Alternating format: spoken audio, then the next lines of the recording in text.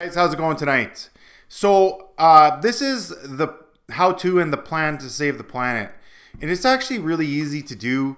It's, uh, you know, if you look at everything all at once, like all the challenges and all the things that we have to do, just straight out, and it can be overwhelming.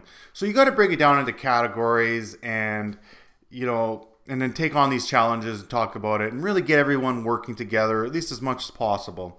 So because of that, and like, and you got to go around if you want to save the planet. You got to go around and, um, you know, you can't be blaming emissions because it's not emissions that cause climate change. It's fossil fuel extraction.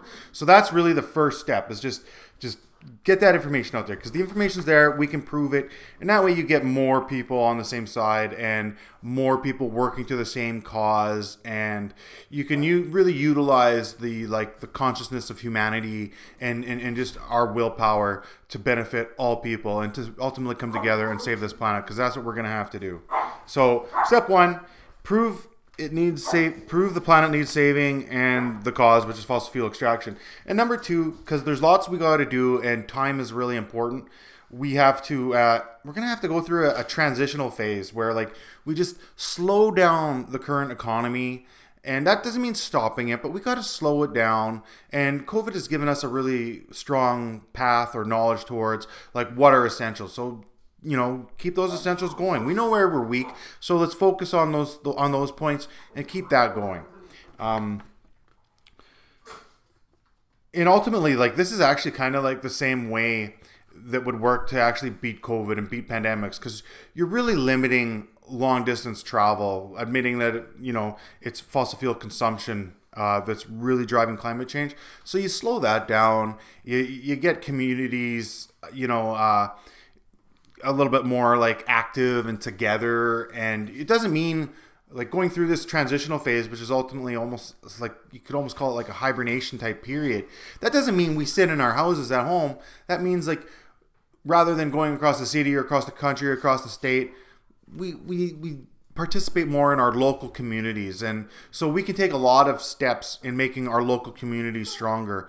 You know and there's little things that we can do that can go a long way. Like i've talked before about having a uh, like creating like a, a walmart or even transitioning walmart to do this or or any corporation or just any locally owned like supermarket and have like local the local area growing their own gardens and then selling it to that supermarket and then sell and then having that supermarket distributing the food to the people. That's just something we can do to you know create jobs and create like a little bit of an economy in the in in the in the back of in the on the back burner. So you know just for people to do. And you know by subsidizing that you could actually make it so that they're getting paid more than the food like by giving the food they're getting paid more for that than the food that they have to buy. So i mean like that's just one way we can strengthen communities and also like get our reliance off of uh, fossil fuels. There's things we can do like I, i've thought even just little things here like like uh, you know we got a farmers market right? Why not make the farmers market mobile? So you got a truck that goes around to the neighborhoods. Because then you got one truck you know go into areas where everybody can go there and you know it's just the, those little steps uh, go a long way in conserving fossil fuels.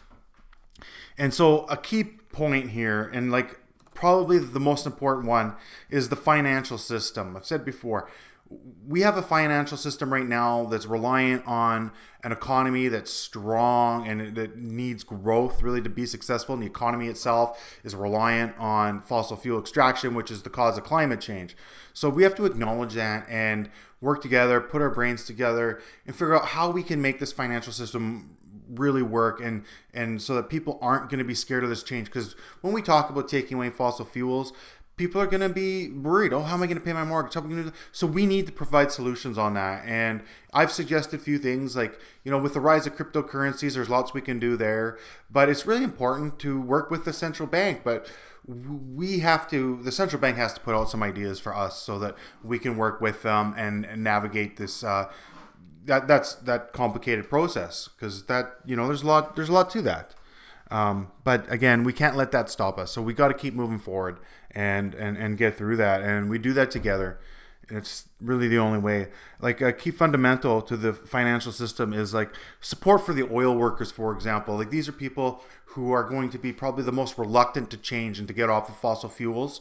So, uh, you know, like let's let's, let's make it so that they don't have to worry. So that whether it's training, whether it's another job, or whether it's just a, a, a something like get get them some financial help, but that can be sustained so that we don't have to go through a, like worries of hyperinflation or crashing the bank or what have you. Figure out something to help those guys. And helping out the oil workers is really important because uh, you know then we'll hear stories about you know things that have happened in the oil industry. Like I've heard this one story where this city where, and I've heard it from multiple sources, so I, it must be true. But where they're digging for oil and they hit like a a, a pocket of natural gas and like the amount of natural gas they said that came out of there was the equivalent to like a week's worth of a uh, like a million people you know and we gotta we gotta utilize these resources and and and not waste like that things like that. You'll hear lots of stories about that um, if we if we get going down this path. And and it's those stories that'll be liberating and and really help this movement and and, and bring people together and like recognize how bad this industry is for our planet for our health and and and and, and really motivate change. Uh, so then everything else breaks down into like everything we got to do. Like you know, if you, I can get into all these subjects and go into detail, but that would end up being like an hour video. I don't mind doing that, but if you guys are interested in in specific areas, well, let me know. You know, we have to prioritize things as well. Like you know, first responders are a top priority. I always say, you know. Uh, farmers first. It's always because we got to keep that farm equipment going. I always promote biodiesels. You know, we want to create jobs. Some of the jobs we may have to create aren't going to be that glamorous. You know, like we, but we got to get to a point where our labor is actually cheaper than. Uh, than, than the oil product and stuff. And we can't let that that's part of the financial system. We can't let the financial system or put barriers there to make these changes and uh, in innovation in this area. And like you know agriculture like everyone's saying oh we got uh, issues with uh, you know you know cow farts cause climate change well that's just not the way it is if you actually had a bunch of ranchers out there using horseback you know and you could get a lot a large amount of cattle grazing off of the land you're using less fossil fuels by making that type of transition and that's a great thing to do. It should be acknowledged and promoted. And let's talk about that. And then just get like uh, better sustainable feeding programs for winter feed and stuff like that. But you know, that's a that's a just one thing of many to talk about. Uh, let's see what else here. So innovation is by far the biggest subject. You know, like I'm promoting biofuels, bioproducts, and that means like our waste. That means you know refining vegetation and plant life to you know a a point where you can use it. We can do things like, uh, you know, agriculture is another big section, right? You know, where instead of using things like Monsanto and all these oil-based products, you know, just have controlled burns. If a, if a crop gets infested or something, you do a burn, and that creates uh, nutrients and, and, and it rejuvenates the soil for a better crop on the in the next season or you know if you can get a short season in or whatever then do that. But you know that's just a, a, a, major change in agricultural and the farming systems that we need to make. But ultimately farmers first and then after that like transportation. We need to make sure that uh, we get we can get the food to the people who need it. And so that's top priority um like I, I, and we got to work with companies and hopefully they're willing to work with us. And we got to get through these barriers of profit and whatever and put that us really put that aside because that'll ultimately come back. But we got to go through this phase and do everything we can to just keep this uh, thing going so that people aren't worried. Um, so a just distribution system uh, you know like uh, bezos there uh, amazon they had a good idea about about using blimps or whatever uh, you know like let's let's help them out with that. And uh, let's make it so that you know they're they're really like providing for everybody and working for companies outside of their own and things like that. And uh, you know like that could be a really positive movement that could help everybody in in doing what we need to do and and keeping this economy going in a more, much more sustainable way. Um, so again innovation yeah so all these bioproducts, you know, to replace fossil fuels, it's like, and we and we got to stop the bleeding of the planet. The planet's bleeding. Like we got uncapped oil wells all the, all over the place. Like we got to get those plugged up so we seal that Earth, so we seal the Earth's core. It's a key fundamental. Stop the bleeding, and that's ultimately what we're what we're doing here. We can't save the planet if we can't stop it from bleeding. So you know, you can use those too. Like you know, there's like old uranium mines that are spewing out that that radioactive gas. Well, you put a bunch of biomass in there and, and and over time that'll that'll refine into usable energy. And then you just take it out and plug it up again you know? And it's it's a slow slower process but you know use do everything you can. It's just like in when i talked about the financial system if we can come up with a much stronger financial system one that our powerful nations and wealthy nations aren't worried about the gold reserves, you know, then all of a sudden all that gold we could use and it could be actually put into proper use and monetized and actually make money and not having to sit there like as a, as a financial reserve you know you can actually use the gold to produce energy without having to do more mining and things like that. Um, so and obviously like like i said everything's going to be under innovation energy production and an energy grid distribution. Uh, so like you know I've, I've been on here talking all the time about electromagnetic generators you know advancing uh, um, our, our atomic energy uh, production and things like this. So that's a top innovation, and there's lots of ground and being made in that area right now, all over the world. And you know, like I said, I'm I'm trying to help, and I'll keep doing everything I can. I don't know where you guys are at on that, but it should be easy to do. I've recently explained what I call element A, which is antimatter or dark matter, whatever you want to call it, and uh, so you know we can keep we we can keep doing that and, and moving in that. And ultimately because what we want to do is is make an abundance of energy for the city. And then if we have to make upgrades to the energy grid then yeah okay great let's do that. And then we can make like a transit system based on like a, a like a, a, electric rail line. I forget what they're called, but you know, just and and then you have like a public transportation system because that's a key innovative thing that we need to do to make the transition because we're ultimately going to be taking these cars off the road, so we need to replace that, and that's top priority. Get people moving around. Um, and keep them going. You know, I talked about recycling plants before in an old video I did when I talked about the uh, uh, the atomic generators. Um, so you know recycling plants like we're throwing out all this old plastic. There's got to be a way that we can take that old plastic melt it down reuse it you know? And if you can't then you burn it. Make incinerators incinerators that that create energy. You know again we put we're, we're coming at this energy thing every way we can because we have to stop deforestation too. That's a key fundamental to saving the planet and the solar system. So we gotta stop deforestation. Use what we already have cut down and keep and reuse, but stop cutting like old growth. You know, supermassive trees. We don't want to cut those down. Those are so important to our health and to the to the planet and to the, to nature itself. Um, so recycling plants top priority in innovation. Uh, you know, and we can make leaps and gains in that. It's a great investment for investors. You want you want to stuff to do in the stock market, there's a, there's a, uh, a really good thing because you know having a peace plan. Like I got a peace plan written down there. I can't talk a lot specifically about peace because I'm not really there with you guys to talk about it. Uh, it's easy for me to find peace within myself, but to talk about other issues that are complex, I have to really be listening to you and working with you, and I can't I can't do that from where I am.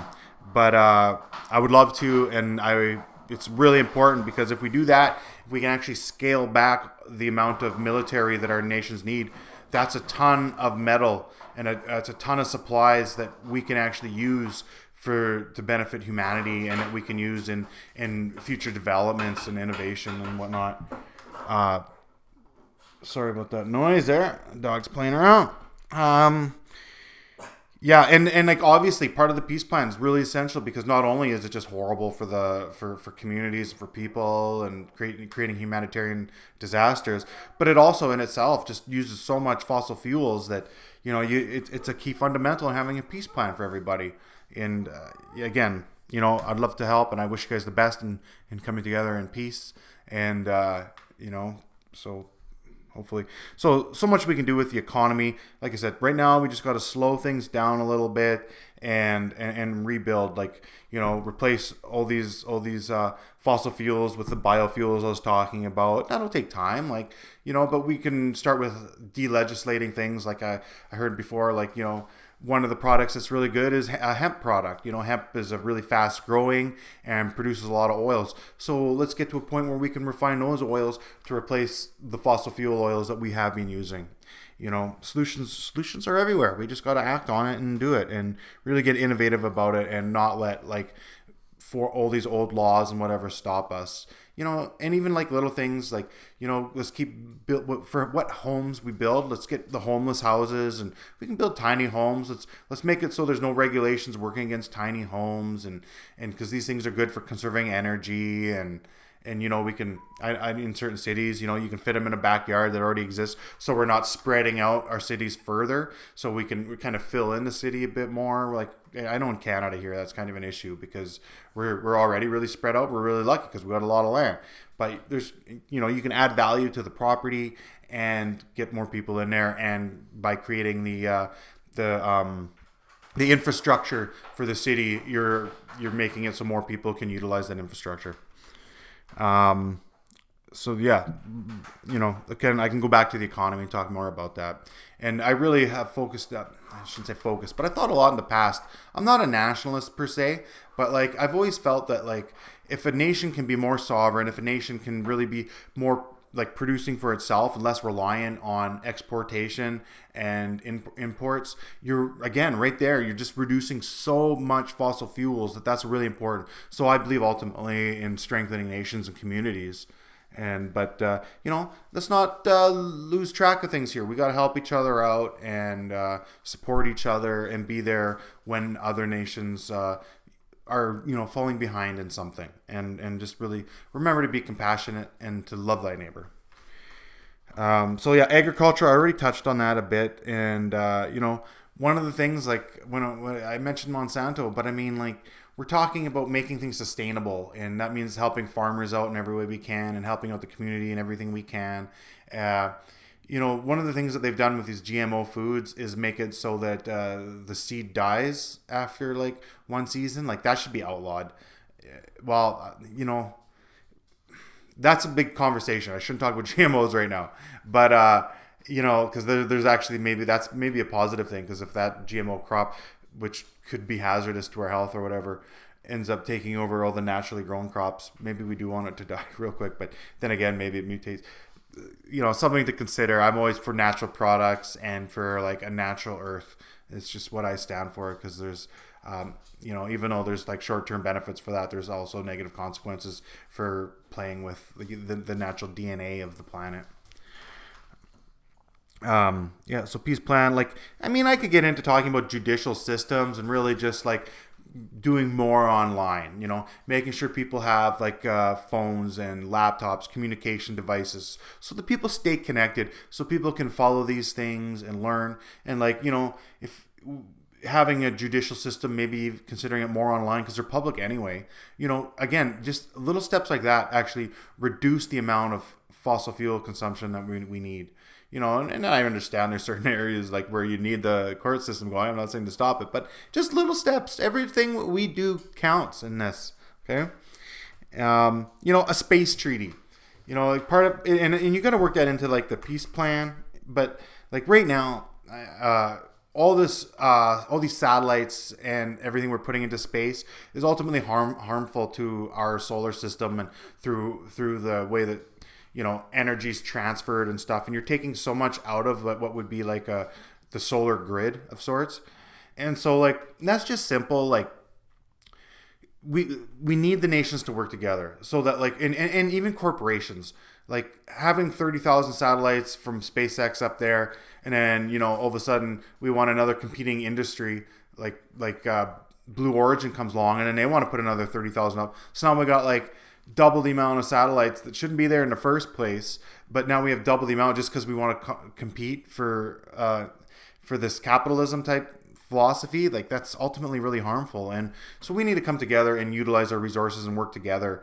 And you know, when we're talking about Blue Origin competing with SpaceX, let's instead of competing, let's somehow put our heads together and and and work to make the industries better. And maybe you got to consider demonetizing that, especially space exploration things like that should be really demonetized and when we do like it's a big it's a big topic the space like a, a space treaty uh, you know, we put our heads together and like we could. It's that's not. I'm not saying we stop space treaty It'll that like stop space exploration. That'll never happen.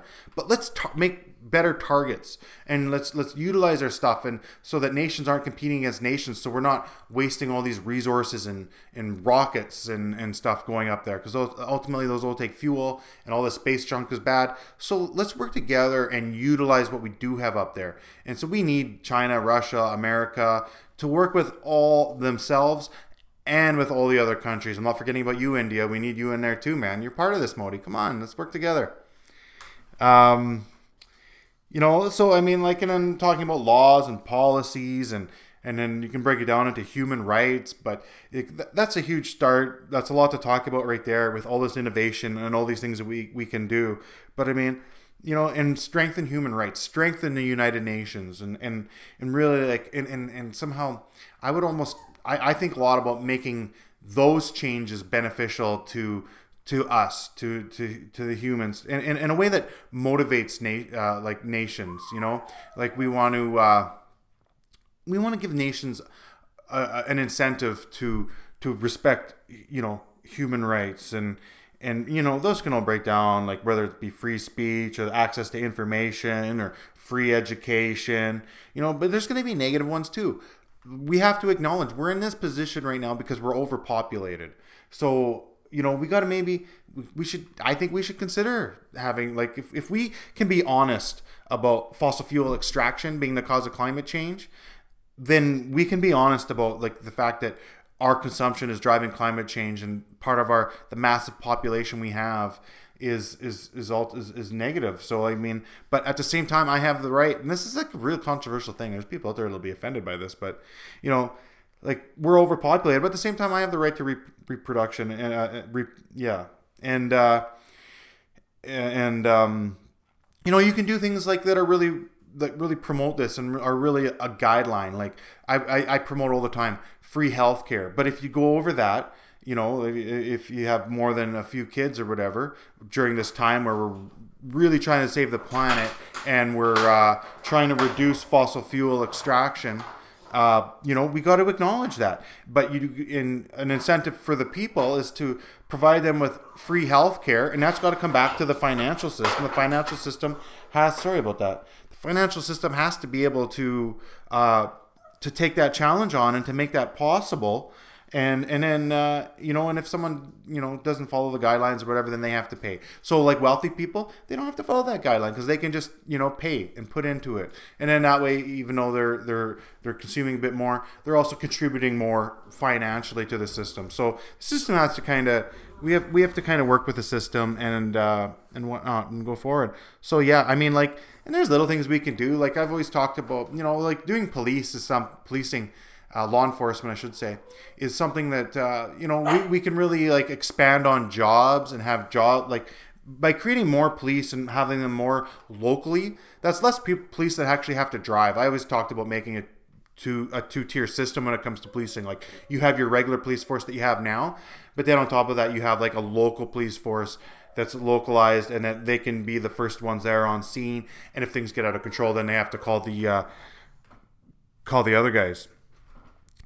Um, you know, and like in, in police, like I talk about uh, upgrading the transportation grid. So like you know, you put uh, you, you put a little cart or you little put, put a cart, but excuse me, you put a little area in in the bus so that uh, police can use the bus and there's a police presence on the bus because we, we or, or, the transit system whatever whatever so that's the way that they can they can utilize these resources too because even though first responders are top priority they also have to do what they can to reduce their consumption as well. It has to be across the board. So, um, yeah, I don't know. I think that's a good start for today. And, uh, you know, I, I got written down here too. I don't know if I touched on new de- development priorities. Like, I, I did already talk about this stuff, but it's like get people sustain, get get people homes, you know, uh, the energy infrastructure, the farmers, transportation, first responders. Yeah, I hit on pretty much everything uh, you know, it's a major topic, and I absolutely don't mind coming back and revisiting this. And uh, you know, I hope that you guys are interested in it, and I hope this helps and gives a little bit of a guideline. And uh, you know, let's work together. I want to work with everybody, and uh, you know, as if we do this, our individual success uh, is everyone's success, or vice versa. And so, uh, good luck, and I uh, I hope to hear good things out of COP26. I hope you guys can ultimately strengthen relations and uh, you know work together uh, across borders, and don't let uh, individual nations, if they're going to be opposed to making the changes that we need to make, stop you. But let's also constructively try and work with them in every way that we can so that they're encouraged to come in and uh, be a part of the change we need for the entire world. Thanks. Talk to you guys later.